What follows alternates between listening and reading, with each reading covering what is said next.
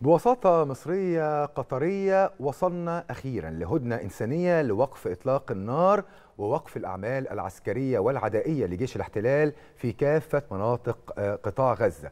وقف حركة الآليات العسكرية المتوغلة داخل القطاع بالإضافة طبعا لإدخال المزيد من المواد الإغاثية والإنسانية عبر معبر رفح. تفاصيل كتير جدا حول هذه الهدنة. خلينا نعرفها نتعرف أكثر على اتفاق الهدنة الطور المصري كل هذه التفاصيل نعرفها من الدكتور أحمد يوسف أستاذ العلوم السياسية بجامعة القاهرة. صباح الخير على حضرتك يا دكتور واهلا بيك معنا صباح. الخير يا فندم. صباح النور. يعني لعله يوم يحمل أخبار مبشرة وإيجابية لأهالينا في قطاع غزة والعالم العربي أجمع والإنسانية الحقيقة. خلينا في البداية يا فندم نعرف السادة المشاهدين بنود هذه الاتفاقية من الجانب الإسرائيلي من جانب قوات الاحتلال أيضا ومن جانب حماس البنود والشروط والاتفاقات.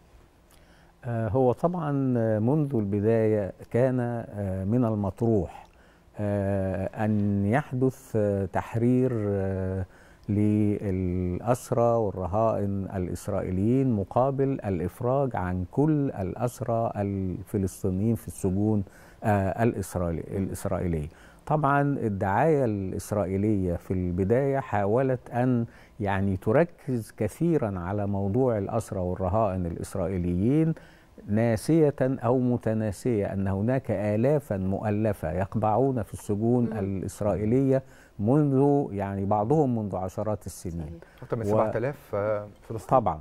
وفي البداية كان واضحا أن المنهج الإسرائيلي قائم على الانتقام أنه نوجه لهم ضربة موجعة تجبرهم على الإفراج عن الأسرى أو نهزمهم فنستطيع تحرير الأسرى بالقوة.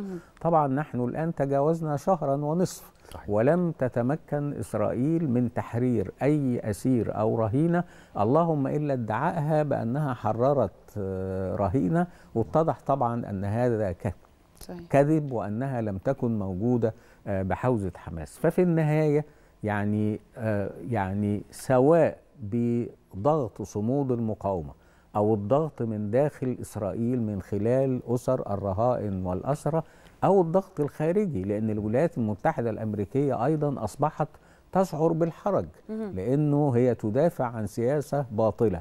نتيجة كل هذه العوامل صمود المقاومة الضغط من داخل إسرائيل الضغط الخارجي يعني وافق نتنياهو مضطرا وهناك ما زال عضوين على الأقل في حكومته يعترضان على هذه الاتفاقية. وافق على الاتفاقية. جوهر الاتفاقية هو أن تفرج حماس عن خمسين من الرهائن المدنيين نساء وأطفال ومدنيين وبينهم فيما أعتقد رهينتان أمريكيتان. في مقابل إن إسرائيل تفرج عن أظن حوالي 300 امرأة وطفل من الأسرى لدى أو باستخدام بقى نفس التعبير الرهائن لدى إسرائيل وإنه لكي تتم هذه الصفقة لابد أن يحدث وقف إطلاق نار لمدة أربعة أيام قابلة للتجديد.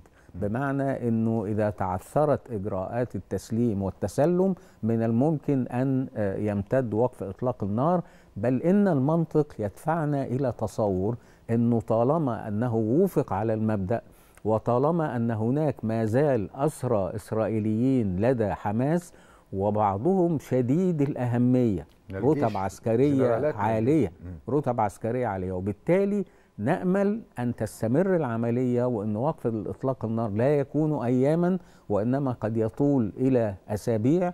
وقد يعني أتصور إنه من الممكن إن هذا الاتفاق يدمر جوهر عملية الانتقام الاسرائيلي لأنه بعد أن يتضح أن حماس ملتزمة بما وافقت عليه وما إلى هذا ستصبح مهمة إسرائيل في استئناف القتال بنفس الوحشية صح. التي كانت عليها قبل ذلك مهمة أصعب في هذه النقطة تحديدا ده بيدفعني لسؤال حضرتك دكتور أحمد أنه إذا تم المرحلة الأولى وهي مرحلة أولى من الاتفاق بالإفراج عن 50 من النساء والأطفال الموجودين الأسرى لدى الجانب الفلسطيني مقابل 150 فلسطيني في السجون الإسرائيلية هل برأي حضرتك ده هيدفع أهالي باقي المق... ال... ال... ال... الأسرى من الجانب الإسرائيلي الضغط. يعني هو ما دام دخلنا في عملية تفاوضية للتبادل الأسرى فده سيقصر من أمد الحرب وسوف يزيد من الضغط الداخلي لأنه أهالي الباقين إذا رأوا أن هناك من أفرج عنهم وأنهم ما زالوا حتى الآن مرتهنين داخل قطاع غزة يزيد من الضغط على الحكومة الإسرائيلية أكثر. أتفق معك تماما إنه يعني هذه العملية الجزئية. إذا نجحت إن شاء الله ستولد زخما جديدا صحيح. كما ذكرت بالضبط. إنه أهالي بقية الأسرى والرهائن سيقولون ولماذا لسنا نحن, نحن أيضا؟ وبالتالي تستمر العملية. أيضا الضغط الخارجي سوف يستمر. وبالتالي الأمل في سيناريو هو غير مؤكد لكنه وارد الأمل في سيناريو إنه إذا نجحت المرحلة الأولى فلا بد إنه ستتلوها مراحل. وطبعا إذا تصورنا أن هذه العملية ستستغرق مثلا شهرا أو أكثر سيصبح من الصعوبة بمكان إنه تستمر عمليات القصف الهمجي الوحشي ومسألة بقى الدعاوي بتاعت اجتثاث حماس والقضاء على مش عارف وكل حمساوي يجب أن يموت وكل هذا الكلام الفارغ. أتصور إنه ربما يكون هناك يعني تفكير جديد في المسألة برمتها. ولكن يا فندم يعني خرج بنيامين نتنياهو وأيضا خرج وزير الدفاع الإسرائيلي وتحدث عن إنه هذه الهدنة وإن توصلوا لاتفاق أو إن تم التأكيد على التوصل لهذا الاتفاق هذا لا ينفي إتمام العملية العسكرية وإنه العملية العسكرية مستمرة في قطاع غزة وما إلى ذلك. فحضرتك بتشوف هذه التصريحات إزاي؟ شوفي حضرتك هو لو لاحظنا تصريحات القادة الإسرائيليين منذ البداية سنلاحظ أنها كانت بالغة الغرور وبالغة التشدد. يعني اجتثاث حماس انتقامنا سيكون مروعا وسيغير الشرق الأوسط. يعني لم يحدث أي شيء مما تحدثوا عنه. وبالتالي هم يقولون هذا بس أنا بتصور هم لم يحققوا أهدافهم يا فندم بس هم بالفعل يعني إن كان الحديث عن قطع الكهرباء والمية والغذاء والوقود بالفعل هم عملوا ده تحدثوا عن توغل بري بالفعل حصل ده. آه ما قدروش يحققوا أهدافهم ده حقيقي ولكن هذا التهديد بالفعل هم قاموا بيه.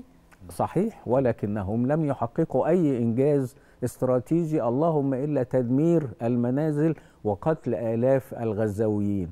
وبالتالي هي الفكرة أنهم يقولون وكأنها عملية ميكانيكية. سنفرج عن الأثر ثم نستأنف قتلكم.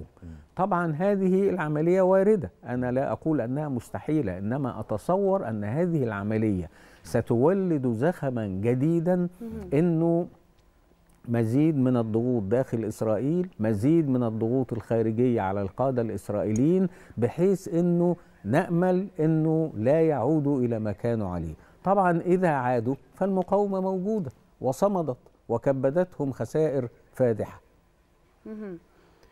تمام. طب حضرتك فيما يتعلق بصمود هذه الهدنة خلال الساعات المقبلة إذا دخلت حيز التنفيذ توقعات حضرتك إلى عدم الاختراق من الجانب الإسرائيلي خرق هذه الهدنة؟ وأيضا الجبهة الشمالية جبهة لبنان هل بالتبعية سيكون هناك تهدئة؟ يعني تابعنا على مدار الأيام الماضية تصعيد شديد على الجبهة اللبنانية مع حزب الله. ستشمل هذه الجبهة أيضا وستدخل في نطاق التهدئة؟ هو بالنسبة يعني لإسرائيل أنا أتصور أنها يجب أن تلتزم لأنها صاحبة مصلحة. لأنه لو ثبت تماما كما ثبت كذبهم في موضوع مستشفى الشفاء والقيادة المقاومة اللي تحت المستشفى. فإذا ثبت أنهم عرقلوا عامدين هذه الاتفاقية أنا أعتقد أنهم سيخسرون الكثير. أما بالنسبة لجبهة الشمال فهو منذ البداية حسن نصر الله الأمين العام لحزب الله ربط بين التطورات في غزة وبين التطورات في جبهة لبنان. بمعنى أنه كلما حدث تصعيد سوف يصعد هو في جبهة الشمال. الآن بالمنطق أنه إذا حدث وقف لإطلاق النار في غزة. أن تحدث تهدئة ننتظر بها إلى أن نرى ماذا سيحدث في مقبل الأيام. قد لا يكون هذا مؤكدا لكن المنطق يقول هذا. طيب خلينا نروح لهذا الخبر الهام والعاجل. ويعني سيادة الرئيس عبد الفتاح السيسي نشر عبر موقعه على مواقع التواصل الاجتماعي أود أن أعرب عن ترحيبي بما نجحت به الوساطة المصرية القطرية الأمريكية في الوصول إلى اتفاق على تنفيذ هدنة إنسانية في قطاع غزة وتبادل المحتجزين لدى الطرفين. وأؤكد استمرار الجهود المصرية المبذولة من أجل الوصول إلى حلول نهائية ومستدامة تحقق العدالة وتفرض السلام وتضمن حقوق الشعب الفلسطيني المشروعة.